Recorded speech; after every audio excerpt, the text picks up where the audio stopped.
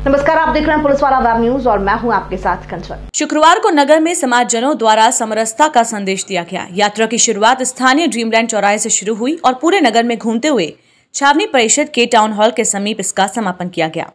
इसमें प्रमुख रूप से अखिल भारतीय विश्व परिषद के मैरिविजन के राष्ट्रीय संयोजक डॉक्टर वीरेंद्र सोलंकी, महू जिला संयोजक विपिन राठौर, बजरंग दल के जिला संयोजक अंकित यादव, जिला विस्तारक प्रकाश परमार, नगर अध्यक्ष वेदांत सिंह हजारी सहित अन्य पदाधिकारी सहित कार्यकर्ता उपस्थित थे।